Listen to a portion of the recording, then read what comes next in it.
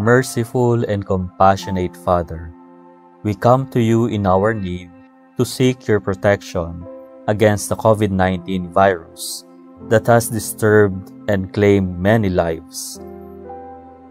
We ask you now to look upon us with love and by your healing hand, dispel the fear of sickness and death, restore our hope, and strengthen our faith.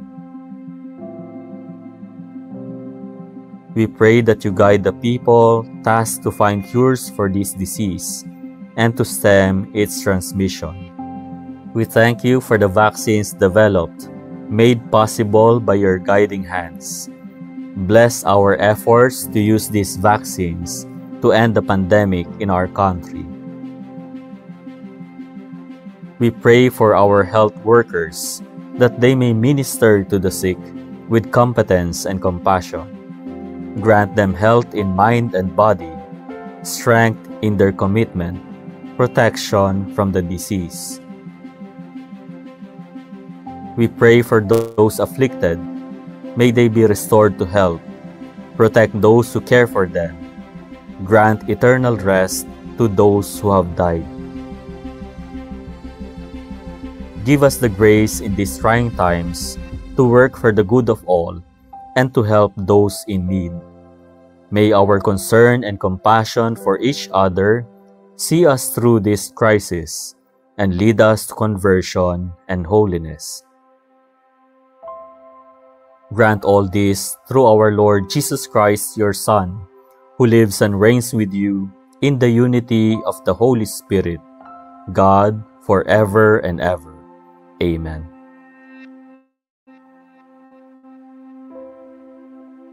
We fly to your protection, O Holy Mother of God. Do not despise our petition in our necessities, but deliver us always from all dangers O glorious and blessed Virgin. Amen. Our Lady, health of the sick, pray for us. Saint Joseph, pray for us. Saint Raphael the Archangel, pray for us. Saint Roch, pray for us. Saint Lorenzo Ruiz, pray for us. Saint Pedro Calungsod, pray for us. mga kababayan, ang pambansang awit ng Pilipinas. Kayang mag-ibig,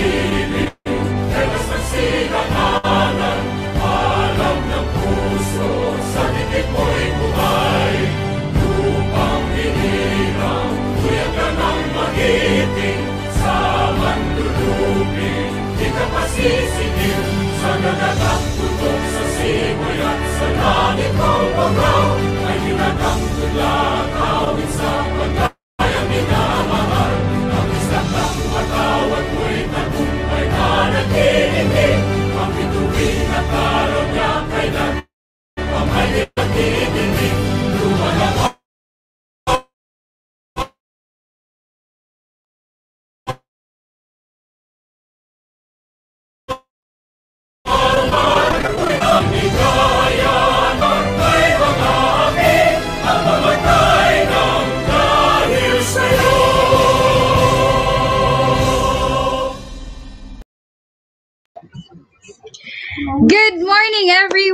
Good morning, Philippines. Good morning, universe. And good morning, Capital University. Good morning to our university president, Attorney Casimiro Juarez, and to our executive vice president, Dr. Fe Juarez, VPA and senior high school principal, Dr. Amor Q. de Torres, and our senior high school vice principal, Mrs. Conchita Bas.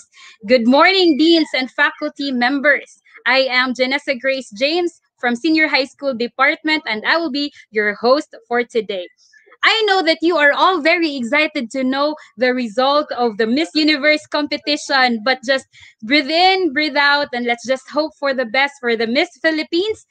But let's all be also excited about our webinar for today as we are all facing the this unfortunate time that none of us expected it is necessary to take care not just our physical health but most especially our mental health this mental health as well so without further ado let me introduce to formally introduce our resource speaker for today, let me call in our science subject coordinator of senior high school, Ms. Omiel Kair Sangkupan. Good morning, everybody. So before I finally announce our resource speakers, I would like uh, to remind everybody to please um, stay in tune regarding the question and answer portion after the webinar proper. so our um, resource speaker has a master's in clinical psychology. He is a registered psychologist, a school counseling associate, a group facilitator, and a resource speaker as well. Um, he finished his bachelor's degree of science in psychology as a cum laude from Holy Cross of Davao College Incorporated, and he also finished his master's of psychology in clinical psychology from San Pedro College. For his work experiences, he is currently an assistant guidance director, a part-time psychology instructor, and a research advisor at University of Mindanao. He is also, or he was also a village educator from SOS Children's Village Davao from 2013 to 2016, and he is also an he was also an OT staff from Kaakbay Rehabilitation Center from March 2013 to August 2013. Some of his research interests include impact of sense of purpose and mental hygiene on mental health, looking at sense of purpose or meaning as a primary component of mental health and therapeutic development. He is um, the trainings he has attended include aligned transformation through neuro-linguistic programming at New Day Recovery Center and advanced counseling experiments, emotional exercises, and dream works from Gestalt Wellness Institute Southeast Asia Incorporated. So that's just one of the many, many trainings he has attended. And for his non-academic uh, distinction and recognition, uh, for speakership for Resilience and Academic Adjustment in the New Normal, Department of Psychology from University of Mindanao, and uh, for a speakership as well for strengthening students' disposition during crisis, Department of Social Work from University of Mindanao as well. Um, so uh, that's uh, the, those are the affiliations of our resource speakers. So uh, ladies and gentlemen, help me welcome Mr. Silvino Payo Hostel Jr. Hi, good morning, everyone. And thank you for that introduction, ma'am. Okay, I'm um, blessed and I'm actually grateful to be um, invited here today no, and to be invited by by the university, the Capital University, to discuss about this very important topic. Um, COVID-19 no we thought that COVID-19 will will last for a little time lang no last year. However um, up to now it's it's here no. So nag one year na siya. And thus it is very important that we live through this um, through this pandemic no that we maintain mental health amidst this situation. That is why it is very timely and important to discuss about psychological health or mental health um, during this pandemic. So uh, let me um, let me discuss this topic through my uh, presentation. Now, um, next slide, please. Okay. Before we proceed with our proper uh, topic, I just want to know how do you feel about uh, your week? You No, how, uh, what are your feelings? What are your feelings th- throughout this few um, weeks. You can comment your feelings sa chat box or sa comment box, I think. No? So how do you feel about your uh, past few weeks? Mm, may it be positive or negative. Now let's just see kung ano yung kung ano yung um, overall feelings ninyo so far. Ano kaya? Ano yung mga comment na aspect? No? It is important that um, we are attuned with our emotions and with our feelings. No? May it be positive or negative, it is very important that we are attuned and mindful of our feelings. We have to remember that our feelings are not our enemy. Okay? So, regardless of its um, heaviness or its lightness, um, our emotions are our friends. No? And it tells us kung kung unsa ta. It tells us kung unsa ang atong pwede buhaton. It our motivation and it will help us um, evaluate as well what do we want to do and what should we do uh, in a given moment. Okay? So, thus, hopefully this seminar as well will assist us in being attuned with ourselves and being attuned with our emotions. Now, next slide, please. Um, we will discuss myths and facts about mental health and psychological well-being. We will also have an overview of the current situation um, amidst the pandemic, the overview or and the literatures about about the pandemic. We will also have discussion on stress, effects of stress, um, work-life balance, and coping strategies and um, resiliency. Okay. So you tell me through the comment box kung uh, comment section rather kung uh, if you feel that the statement is a myth or a fact. Okay, so let's go through the five myths or fact of mental health. Next slide, please. Okay, before we proceed, disclaimer muna. No? Uh, one is, um, majority of the images that I have used in this presentation are not mine. Okay, they are from uh, the Google Images or the Unsplash.com. Although I've put the original, the name of the original author, but there are some na, na remained anonymous. Nevertheless, I don't claim ownership to this um, images. Second is that this presentation is uh, for awareness campaign and purposes. It should not and it will not replace um, counseling and psychotherapeutic, uh, personal psychotherapeutic intervention. If you feel that you need to have a personal or professional help or professional um, assistance, um, I am um, open to assist you with these things or refer you to to someone there in CDO.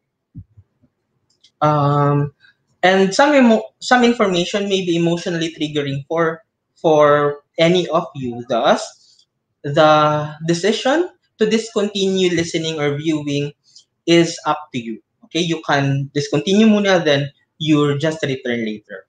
All right, let us start. Myth or fact? You tell me through the comment uh, section. Okay, next slide. Mental health problems won't affect me. Wag ako. dili ba ta maapektuhan sa mental health problems or psychological health problems? What do you think? Is it a myth or a fact? Alright. It's a myth ang sabi ng iba. What else? Myth. Okay. Myth. Alright. Okay. Now let us see uh, kung ano yung sinasabi ng literature. Alright? Now, the fact is, although not equally susceptible, everyone and anyone can be affected by mental health concerns. Yes, no, it is a myth. Um, although naatay different um, susceptibility. No? For one, there are many factors. There are biological, psychological, and social factors for mental health and psychological well-being for that matter.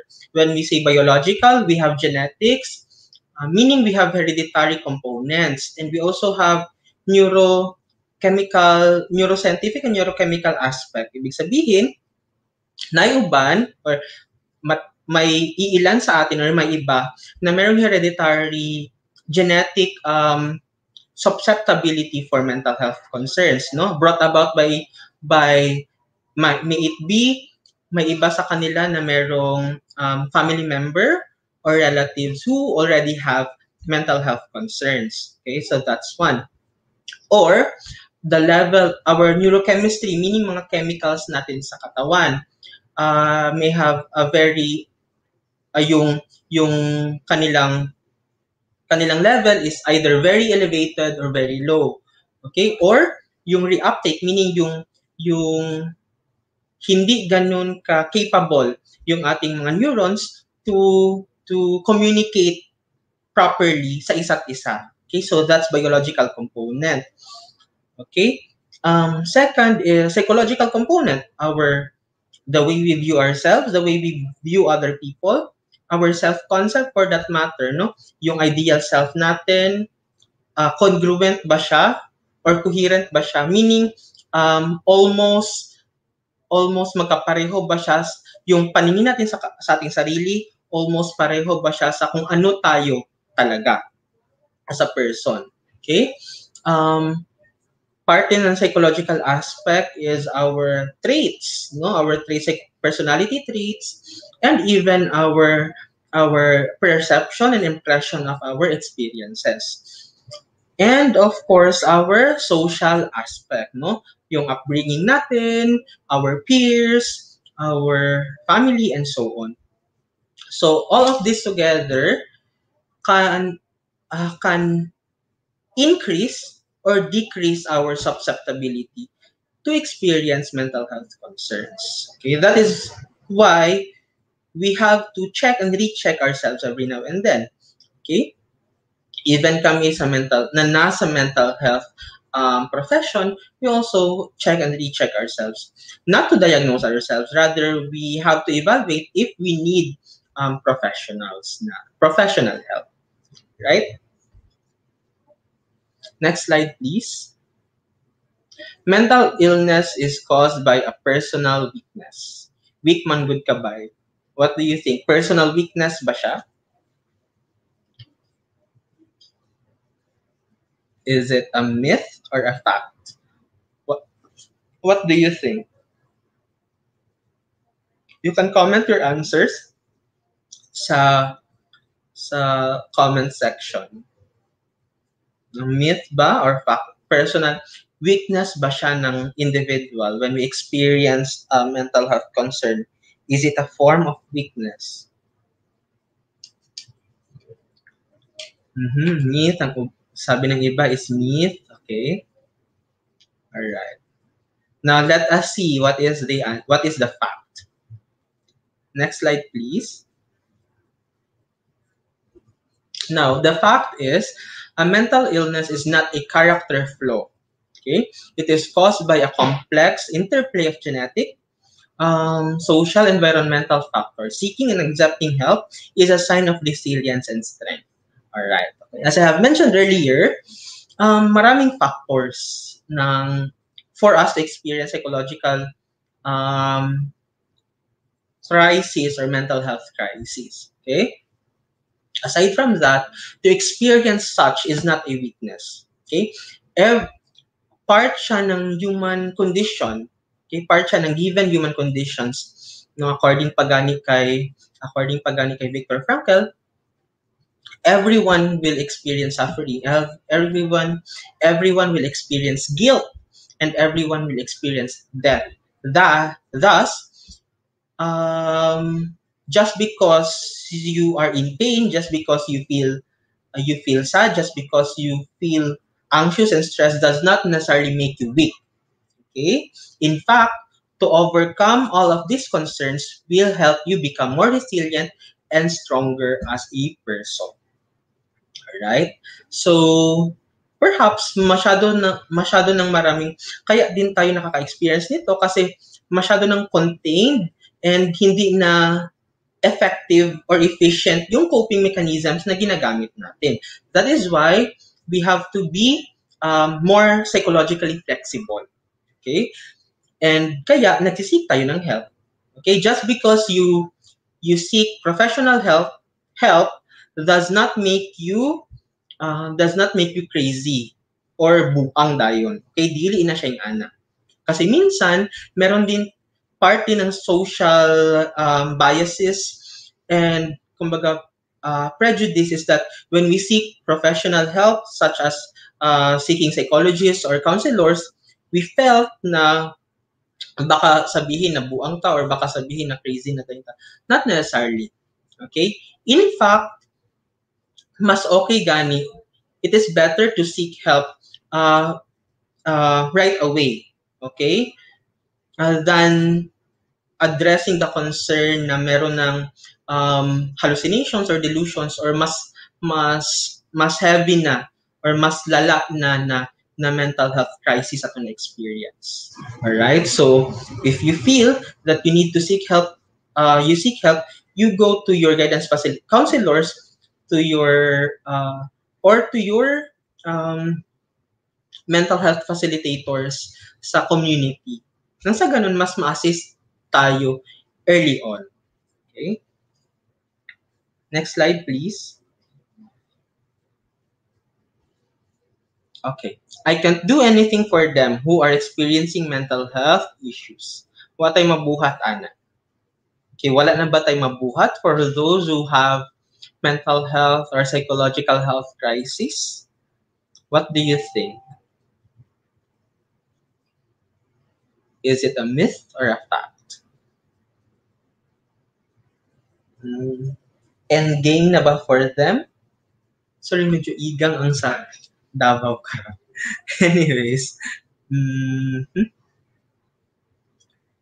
now the fact is, next slide please. Okay, the fact is, we are each other's support system. The more we learn about mental health, the more we know that we can do for ourselves and others. Yes, no?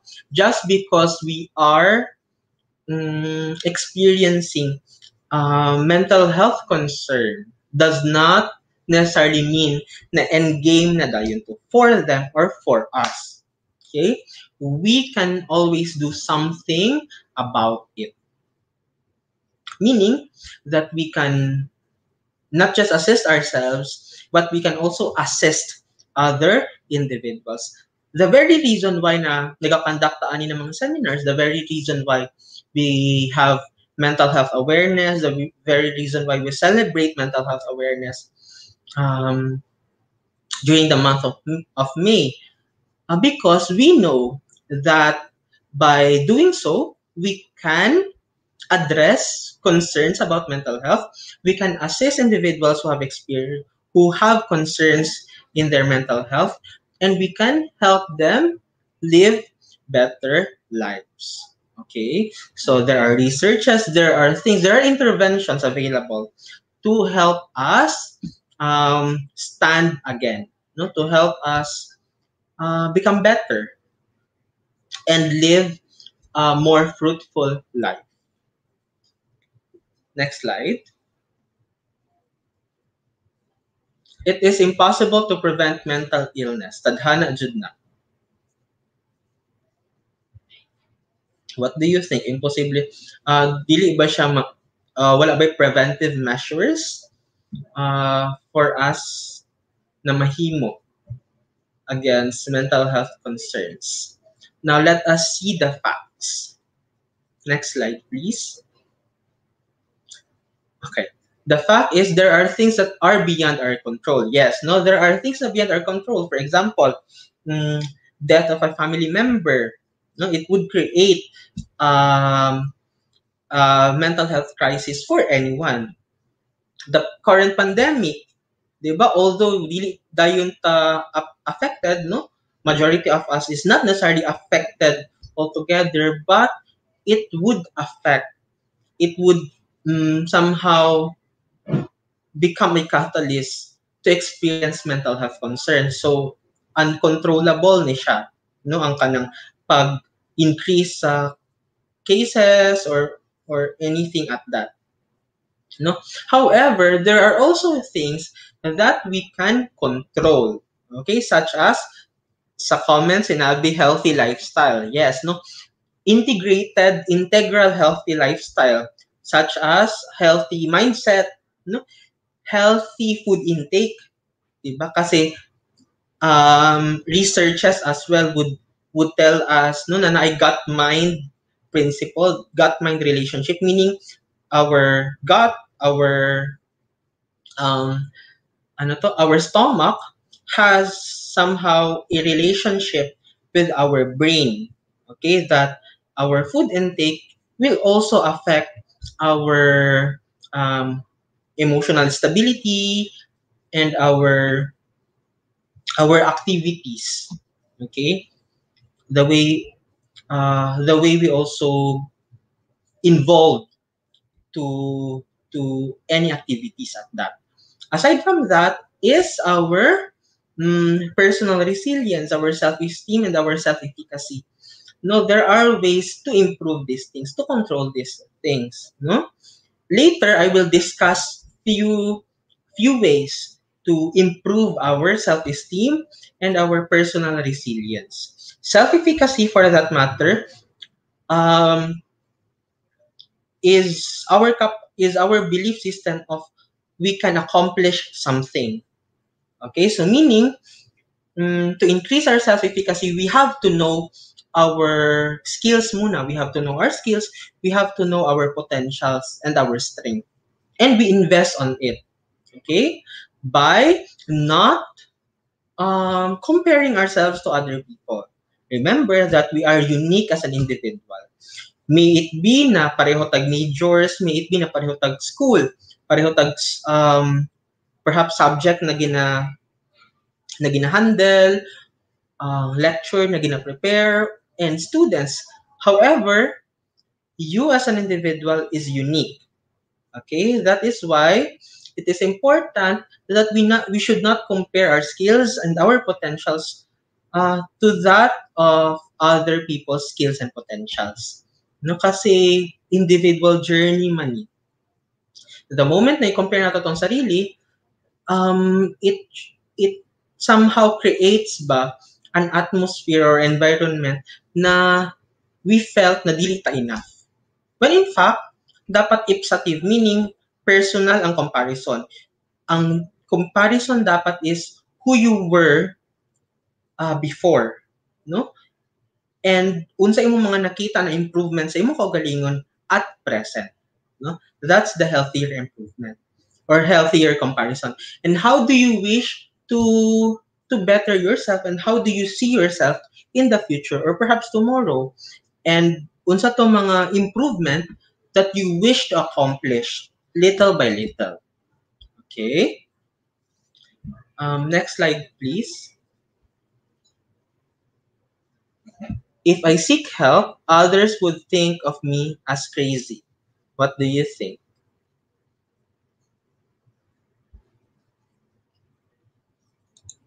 Does it mean na crazy tayo ta if we seek help?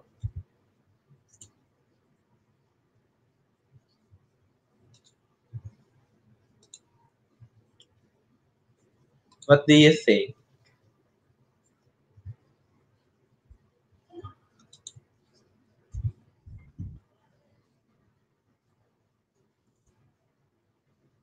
Now, yes, okay. Now let us see the let us see the literature. Mental health concern is not about being crazy. It is any thought, emotion, or situation that may and will disturb your personal, social, and functioning of day-to-day quality of life. Exactly. So, just because we have mental health crisis does not necessarily mean na um, crazy na dayon ta. Remember that mental health is um, two opposite poles. Um, taas siya na line na na encompasses many aspect and many factors. Okay, on one end, we can be uh, we can be very healthy and very resilient. On an average, we are resilient, but at the same time, experiencing um, crisis at the present moment. On the other end, there are also do, those individuals na um, naka-experience ng hallucinations and delusions and heavier mental health concerns or situation. Okay? But again, just because you seek help, just because you feel sad, you feel distressed, you're anxious, does not necessarily make you crazy. Okay, crazy or being uh, or or an individual who experience hallucination del- delusions on and um, perhaps um, illusions are those individuals who are clinically um, deemed as um, perhaps individuals who have psychosis or um, schizophrenia. And these individuals are really clinically um, diagnosed na na na ay mental disorders or kumbaga mas lala na ilang na-experience na mental health crisis. Okay? It takes clinical diagnosis for that for us to label ourselves. And in fact, just because we have uh, mental health uh, disorder does not necessarily make you a lesser individual. Kasi nga, may mar- marami namang individuals na even if um, na-diagnose sila with mental health disorders, is very, very um, productive pa din sila. And they are still they are still capable of doing their uh, their service of becoming functional as individual right now um next slide please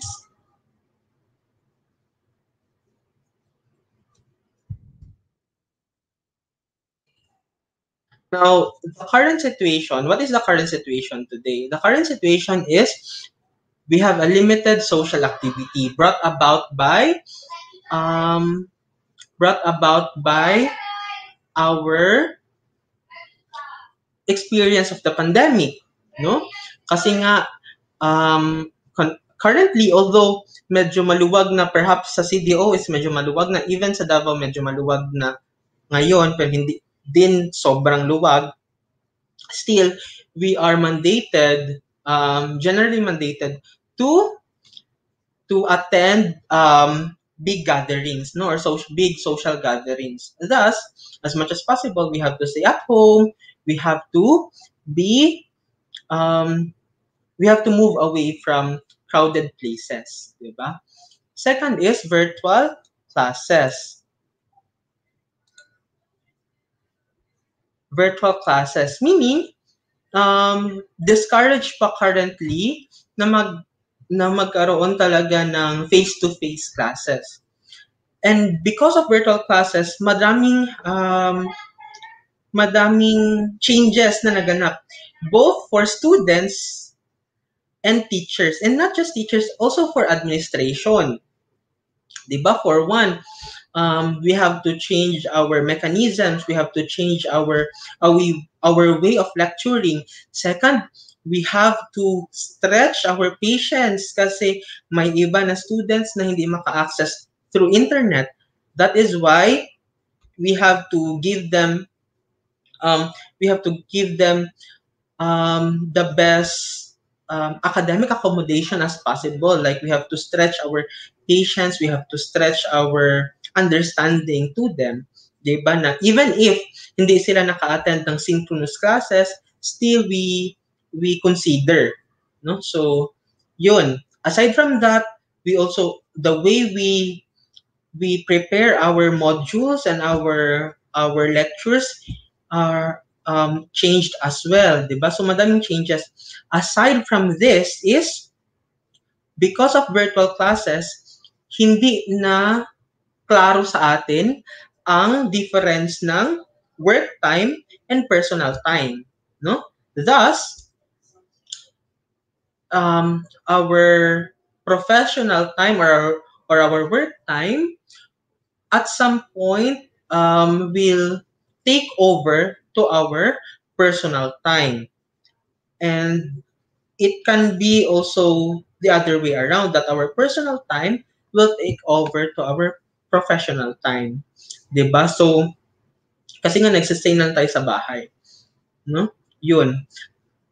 both yan siya sa teachers at saka sa students. For students as well, it becomes very, uh, very, um, very difficult for them to differentiate their professional time and their school time rather and their work time because or or house time because ang ang iba is habang nag gumagawa ng module is uh, tinatawag ng parents or nagbabantay ng tindahan and so on no? And they also have difficulty accessing accessing internet no Ganon. So, easy access to disturbing news. Yes, kasi we have more time now to social, to social media. Di ba? Mas marami tayong oras to, to use Facebook.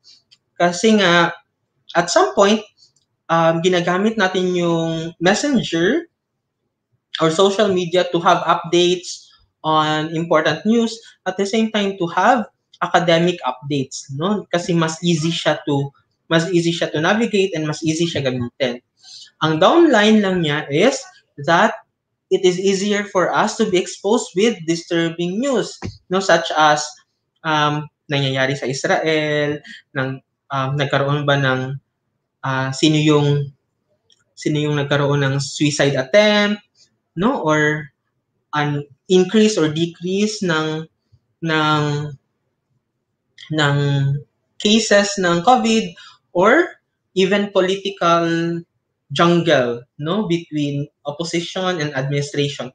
Lahat ng yan will also affect our personal peace and collective efficacy for that matter. Collective resilience for that matter. Okay? In fact the mere viewing of bad news will also affect our sense of positivity diba? Limited physical connection with friends. Kasi nga we are a social animal no? We've evolved, no? Sa evolutionary perspective, pagani, we've evolved as a social being. No? Kaya importante sa atin yung physical and social connection.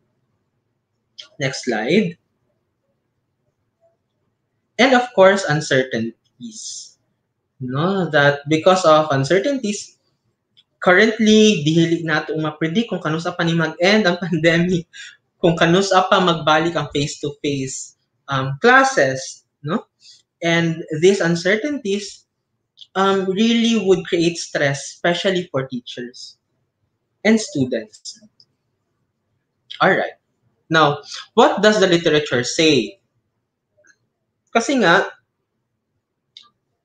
ever since the pandemic began, marami na mga research, sorry, researches na naganap providing us um, providing us information about this uh, this current situation. Now, one is according to Lane and Hunt and Abbott et al. Social isolation created detrimental effect on our mental health. Meaning, um, the more we, the longer we stay at home, the longer we are socially isolated, the longer we are alone, will create detrimental and mm, disturbing effect sa mental health natin. And all the more that we are susceptible to experience negative emotions and negative thoughts.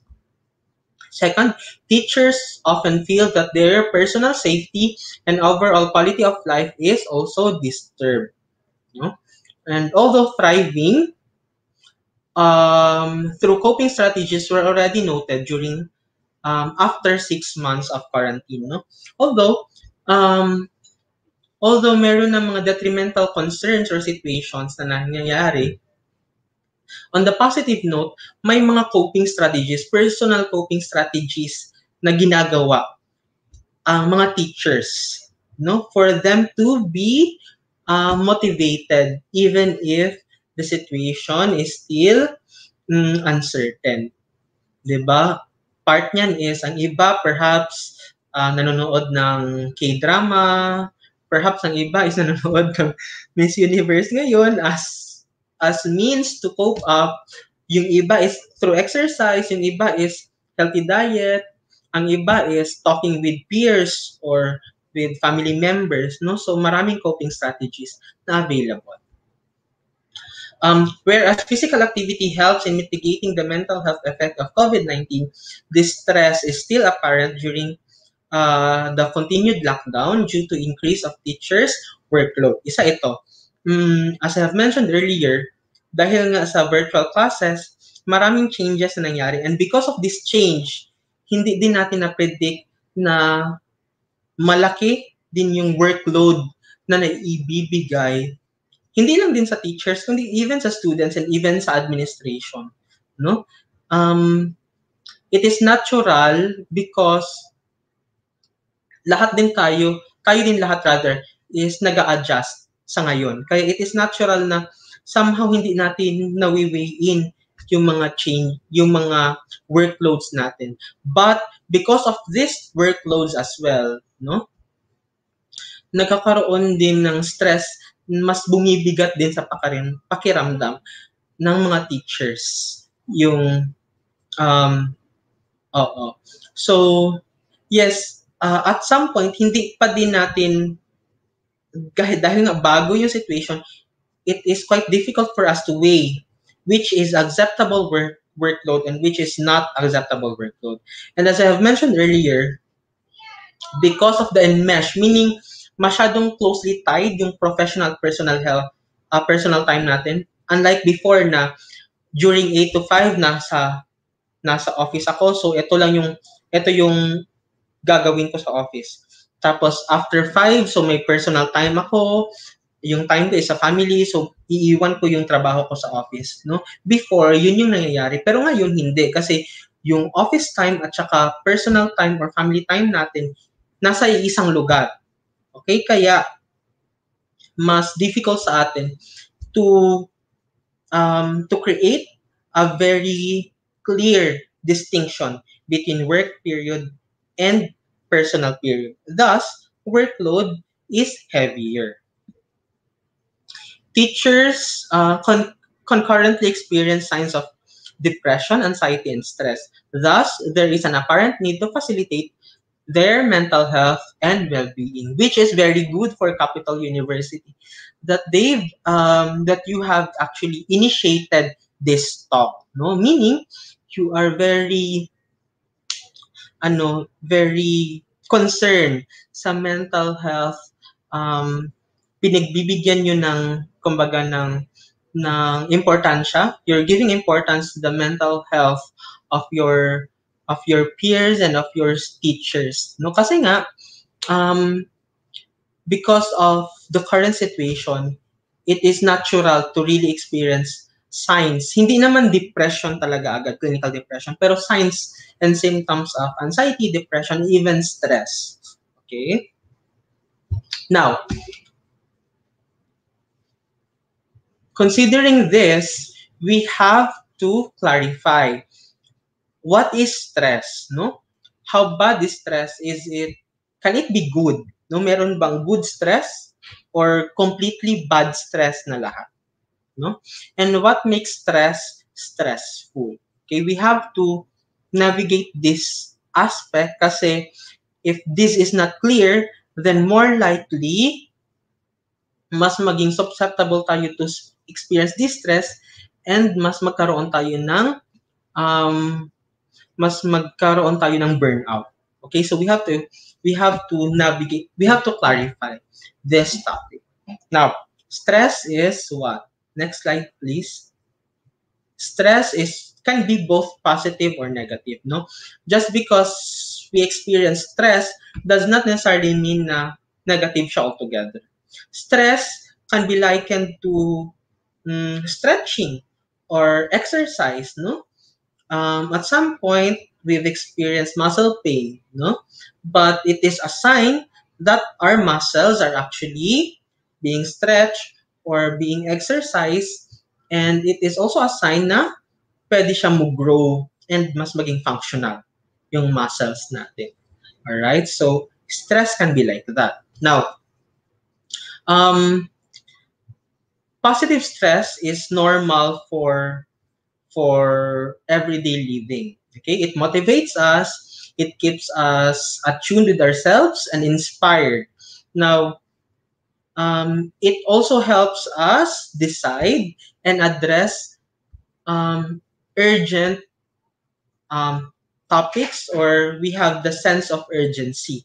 Now, negative stress, on the other hand, will uh, is too much stress or um, the experience of of stress for a very long period of time.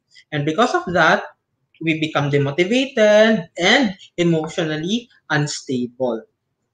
Now, stress is a burst of energy that basically ad- advises you on what to do. Okay? May it be good or bad stress, it allows us to decide and to know to navigate our options. Okay? Meaning if we are in good stress, we become motivated and thus we feel that we have to continue this path. Mm, at the same time, if we experience bad stress, it should tell us what we should change. Okay? And we recalibrate and reevaluate kung kung unsa tong kinahanglan naton buhaton. May it be na atay kinahanglan buian sa tong lifestyle, may it be natay kinahanglan i-improve sa tong ways of doing things or ways of communicating to others, right? Now, um, as I have mentioned, there are two types of stress. We have use stress and distress. stress are good stress, no stress that benefits your health, no, uh, like physical exercise or getting promoted. Um, distress is a stress that harms your health and often results from imbalances between demands and made upon us that are made upon us and our personal resources to cope with these demands. Okay? So, pero how do we know if the stress is actually good or the stress is actually stress is actually bad? We have to evaluate, next slide please, we have to evaluate if it is, if the, the effect of this stress is actually affecting us healthily or not. No? So we can um, use this dialogue as as um, a guide. No, we have to appraise, meaning um, we have to cognitively evaluate the stress. No, ano yung epekto sa akin psychologically, emotionally, and physically? Nagkakasakit na ba ako? Do I feel do I feel na na enough pa ako? Am I still learning? Or or hindi na feeling ko stagnant na ako. If you feel na you're still learning and motivated and um, developing, then you go through with it. Pero if not, then perhaps it's time to recalibrate and change. Next slide, please. Okay, so this is the overall guide. Kasi minsan, pag sobrang calm lang din, it's not healthy as well, no? Pag, uh, pag, na, pag absence of stress na, it will, uh, it will make us feel bored, no? Thus, um, hindi din natin na-develop ating sarili, di ba? Kaya, enough stress will also help us develop ourselves. Next slide, please. Okay, so you assess whether these things are good stress or bad stress for you. Okay, next slide. Stress. Um, stress is good when it is motivating. It is exhaustive, meaning napapagod ka, but it does not make you feel fatigue, meaning hindi ka nagkakasakit. No? It allows you to become enthusiastic and enjoy things, but it does not make you feel sick. Right? Next slide. Um, later na lang ito. Okay. Next slide. Now, next slide, please. When we talk about stress, it is important that we also have work-life balance, especially during this time na nasa work from home situation tayo. So how do we manage work-life balance? Next slide, please.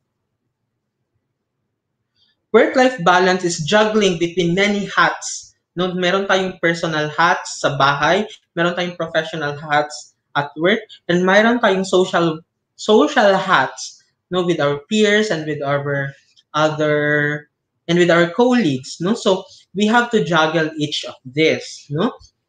By um by okay next slide please. By evaluating how much time do we provide in each hat okay? So ibig sabihin kin, binibigyan dapat natin ng ng time frame din yung ating sarili all throughout sa day no like for the morning sa mag-focus ko sa akong family. In the afternoon, mag-focus ko at work. In the evening, mag-focus ko sa kaninang mga aspect. No, so ibig sabihin, we have to clarify areas that we have to function. No, um, professional areas, social areas, economic areas for that matter, and even family areas. In each, we have to de- designate or delegate um, enough or adequate time. And of course, all throughout, dapat bin, tinitirhan din natin ng time yung ating sarili. Okay? Later, um, I will discuss to you ano yung pwede nyong gawin sa personal time ninyo.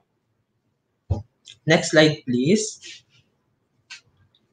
Um, when we feel na hindi tayo um, nagkakaroon ng work-life balance, nagkakaroon tayo ng, we become more susceptible to experience demotivation, physical stress and mental stress, and even sickness and weak relationship. No, that is why it is important that every now and then we evaluate if balance pa ba yung binibigay natin na time both at work and personal time natin. No, kasi hindi din naman maganda na yung lahat na ng oras natin is napupunta na sa sa pagtatrabaho, di ba? Uh, next slide. No? Because by having work-life balance, we can improve ourselves and improve our relationship with our with others. Thus, we reduce our um, we reduce our risk to experience sickness or even susceptibility for absenteeism. Diba? And thus, we increase our satisfaction, personal satisfaction, and productivity. Productivity. Next slide. So you assess whether now work-life balance is not one size fit all. Ibig sabihin, it is a personal personal take, no? Personal um, formula mo siya on work-life balance. No kasi hindi tayo pare-pareho ng ng demands in life, hindi tayo pare-pareho ng ng life conditions and human conditions, hindi tayo pare-pareho ng realities, no? Ng ng subjective realities. Kaya as much as possible when you end your day we have to you have to evaluate ano yung mga to-do list ko at tomorrow and ano yung mga grateful accomplishment ko at present. Okay? Um yun siya importante yun siya. And yun yung mga fundamentals. Uh, next slide. Now you assess no? Ano yung um, mga important attitudes mo yung mga career um, plans mo and mga family values mo and nature of work mo. All of this um, should be considered and even your personal health. All of this should be considered when you create your personal work-life balance formula. And by doing so, next slide, um, we will have an adequate and sufficient capacity to commit ourselves to all of the hats na ginajuggle natin. Okay? And sometimes we have to sacrifice one hat um, for a given moment. Okay? Pero, after which, we have to go back there. Diba? For example, usahay, pwede natin mas masacrifice ato ang social time muna so that makakonsentrate ta sa family time natin at saka sa work time. Then eventually, mubalik na po ta sa tong, sa tong social time. And, next slide. So you ask yourself, how satisfied are you with these areas of functioning ninyo? And kung meron mang um, meron mang part na medyo lacking ka, then perhaps it is time now to ask ano yung pwede mong gawin about it. Okay, like um, educational and learning ba? Then perhaps it is time now for you to decide na mag-proceed na kasi masters or to attend perhaps um, important seminars that you wish to attend. Diba? Or sa siblings, basin, gus, basin wala na may communication, then siguro it's time na i-chat ninyo sila. Um, next slide. So how, so what should we do and how do we take it from here? I will give you mm, suggestions or activities or options that you can do to actually increase your personal resilience and your work-life balance. Remember that personal resilience is composed of these four factors. Coping strategies, no? our capacity, our personal resources to address situation, our grit, meaning our capacity to find strength amidst um, adversity or certain conditions, our emotional intelligence, meaning our capacity to label and be attuned and befriend our emotions, and sense making, no? Meaning uh, the purpose that we have integrated in the things that we do in our actions, our meaning in life, and our all vision of what we can contribute for others and what we can do for ourselves. We can use the Katatagan framework. This Katatagan framework is introduced by Dr. Regina and her colleagues. No, this framework is used ever since um, Yolanda. Now, let's start with kalakasan. Kalakasan is revisiting our personal strength and personal resources. You can use the vinta, no, the boat that you can use that you can see in your right uh, view, no. So you can write in each stripe your personal strength and personal potentials, no. So every day or at least once a week, you have to look at again your personal strength. May it be through dancing, singing, capacity to do research, um, to make uh, essays, poems, and everything therein. No? Importante na mabalikan natin siya na personal strength. Hindi necessary na yung strength natin is related sa ating job or occupation. Okay, not necessarily. No? Remember that each of us, each of us has a unique strength and unique potential. Okay? Remind ourselves about these potentials. We have to remind ourselves about these potentials. Kasi minsan, because of our busyness, nalilimutan natin yung mga capacities natin. Okay? So every day, let's look up. Let us be amazed and be at awe with our personal strengths. Next is katawan. Okay, it importante that we take care of ourselves, no? Kasi nga our physical health is also our mental health, no? By doing as what you've commented earlier, health healthy lifestyle, no? I would like to promote this application, no? Let's meditate application. It is downloadable and uh, it contains guided meditation techniques na for you no that will help you uh, for your sleep and for other things no. Um, even to to address uh, or to prevent anxiety. At the same time you can also do physical exercises or physical activities no? By just doing um by just doing your household chores, no? Pag pag silhig, paghampaso, pagdimpyo sa balay, these are already physical activities.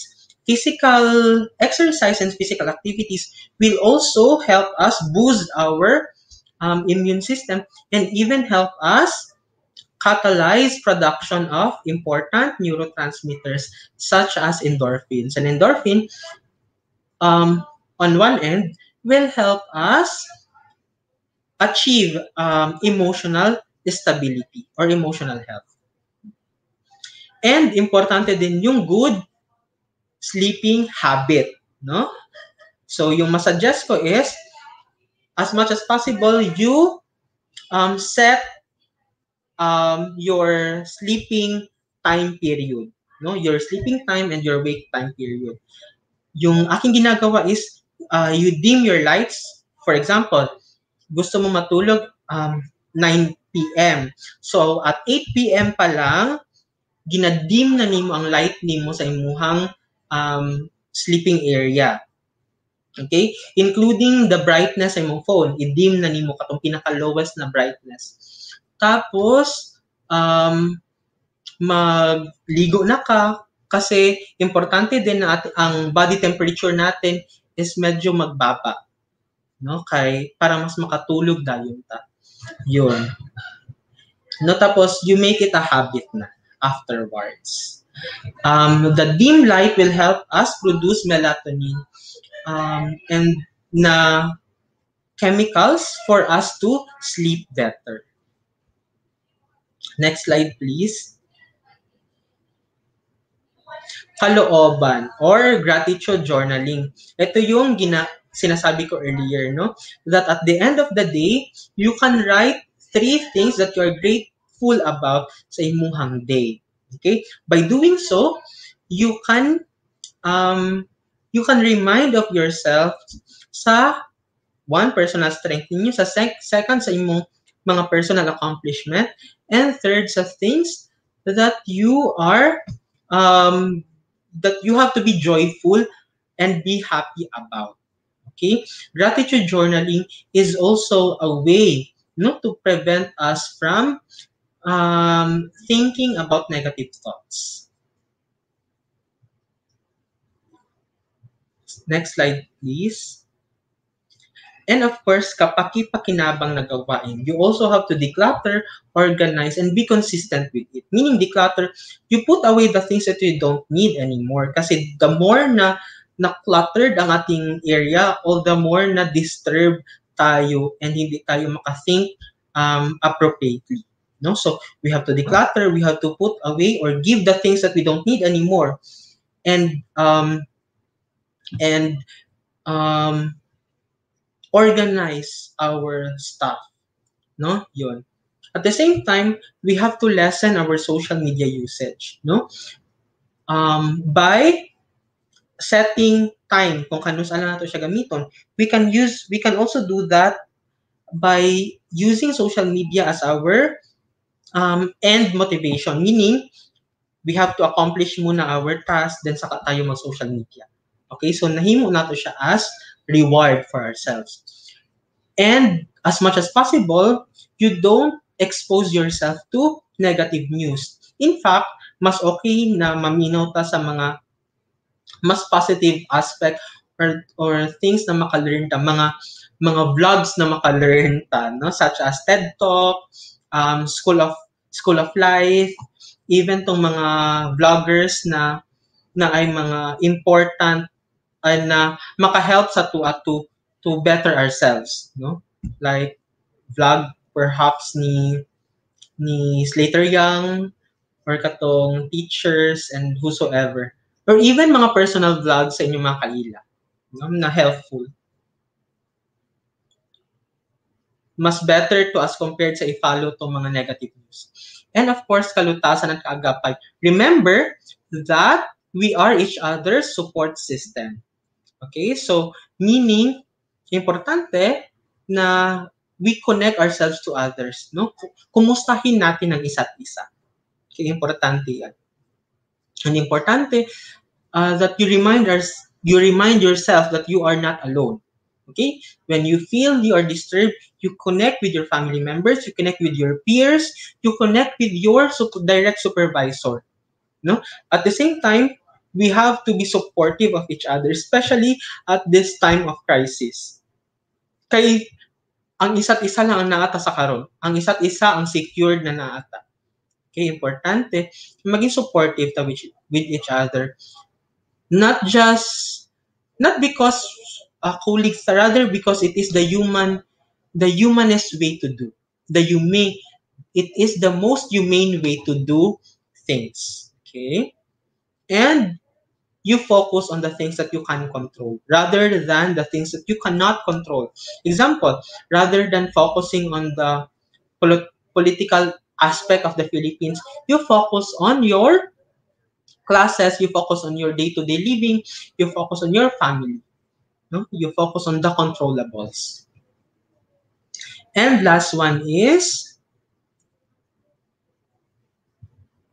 kinabukasan and sense of meaning that as much as possible all of these things no lahat na nangyayaring ito will help you realize your goals in life will help you realize your purpose and will help you find your meaning and discover your personal values no your patience your persistence and your your capacity to to still go through with all of these pains, even if difficult na. Remember that your small steps are actually big leap na. No? Uh, yung, yung pagtuturo ng students nyo amidst this situation is already a big accomplishment. No? Despite the fact na natin personal struggles. No? Yun. So, um, before I leave or before I conclude my my talk, this is the question that I want you to answer. Personal, this can be a personal answer na hindi nyo na kailangan i-answer. Or you can also comment your answer sa comment box. What personal development have you noticed during this COVID-19 situation? No? Kasi nga, kasi nga this con this situation as well becomes a personal development for all of us. So pwede niyo siyang i uh, pwede niyo siyang i-evaluate or maka-create ng insight for you. Ano yung personal development ninyo throughout this current COVID-19 situation. Importante ito sa ito siya na question kasi minsan nakakaligtaan natin makita na meron pala tayong development din sa ating sarili. No, kasi somehow disturbed na tayo sa um, iba't ibang situation. No? Kaya nakakaligtaan natin i-ask or makita yung development natin. Now, before I conclude, later you can you can write your comment um, or your answers from this question sa comment box. But before I conclude my my my uh, presentation, I would like to leave to you two important um, thoughts. No, one from Frankel and one from me. Next slide, please. Um, from Viktor Frankl, my my favorite author and uh, favorite therapist. Uh, when we are no longer able to change a situation, we are challenged to change ourselves. Okay? And last one is be comfortable spending time. Yes. And next slide, please. That it it is from me. When you wish to move from where you are right now, yet the universe is some somehow stopping you, then perhaps you still have something to learn or something to do. Okay. Thank you everyone for listening and I hope um, the topic today allowed you or helped you see your development and um, help you somehow get mm, important areas na pwede nyo magamit sa inyong day-to-day life. Now, I am ready for your questions. Thank you so much, Sir Cel. So one thing that really reminded me of your talk is that kumustahin ang isa't isa because unfortunately, we as teachers, we somehow forget to ask each other how are we because we tend to just ask our students kumusta na kagang but sometimes the struggle of being a strong person or being the teacher is no one bothers to ask how we are. So thank you for reminding us that. So for some questions, you may input your questions on our comment box. I only caught one question so far from Sir Ariel. Sir Cel, he's asking how about individuals who are not aware of their mental problems? Yeah, very common na siya actually. Daghag factors po ana. One is ang isa mga ka-factor kay pwede um, stigma. Not necessarily dili sila aware, pero hadlok ta sa stigma. Like, hadlok ta sa we are afraid to consult because we don't want to be stigmatized by our family. No, especially our family. No, kana ang medyo difficult kasi at some point other families are not quite supportive of our mental health struggles. No, so yun yung isa. Second is stigma from the community. Yan. And that is why very supportive karon ang researcher even even the professionals are quite supportive of the use of um, online consultation no? To somehow address this stigma no? So unsa pang other factors that would lead individuals to to not be aware of their mental health concerns? Pwede siya pwede siya um, uh, personality traits no na um, masyadong masyadong enmesh or integrated na masyado ni siya ng mga things sa ilang personality to the point na they feel na personalidad lang nila to. Dili to mali. Ing ana. So how do we how do we help them become aware? If you are close una syempre kung gwapo pud mo relationship I mean, di ba, like, even kita, kung, kung madungog po na to sa ubang tao na, huy, ngani lagi ka, medyo chismoso lagi ka. Charot. Tapos, dili ka ayo ta kaila sa tao, medyo off for us. Di ba? Kasi, ay, ginajudge ko ni mo, di magalita close. No? So, we also have to assess. No? Kasi, pero kung close na nato, then we become more open to them. Kasi, kasi responsibility din natin yun as uh, as friends or as peers or as a family member no? Pero we do it in a lighter way na perhaps perhaps it is also good na itanawo nato ni siya na aspeto sa atong sarili di ba? Unsay imong napansin sa imong kaugalingon and so on. Yun. if dili jud ay sorry. If dili jud then it is also our personal responsibility to encourage them to seek professional help no sa school naatay individuals na ay naatay office like ang guidance and counseling center mm-hmm. they can also ano they can also assist you diba yeah. Yes, unfortunately sir here in the Philippines murag dili gid kayo siya na naka-common ang magsikog uh, mental Correct. health uh-huh. professional kay murag para sa imong giyon kaganya sir uh, pag moingon nga matog mental health professional kay huang na diretso. So unfortunately Correct. nana gid gyapon sa Philippines. But thank you sir for opening our eyes to that possibility nga need gid nato especially that we are in this pandemic na dili ta kabalo og unsaon og adjust og sakto especially our mental health condition. So thank you so much. Uh, do we have other questions here in our comments? So I think that's it. We only have one question. So I hope, Sir Arya, we were able to answer your query. So later, reminding later for this afternoon's session, it's focused on students, but you could still uh, listen to that session this afternoon. And Sir Cel, do you have any more words before we say goodbye to our audience? Mm. Once again, thank you for inviting me here sa uh, sa university ninyo. And hopefully, that amidst all of these things happening, you are still able to clarify the purpose of what you are doing right now, of pur- the purpose of becoming a teacher. Thank you and God bless. Thank you so much, Sir Selvino, and your um, app that you recommended, the Let's Meditate. I think that would be very useful for all of us. So thank you so much again, Sir Silvino. Later this afternoon, we will be awarding our speaker the certificate of recognition. But for those who are here, audience that are here, please see this link for our attendance, for also for our e-certificates.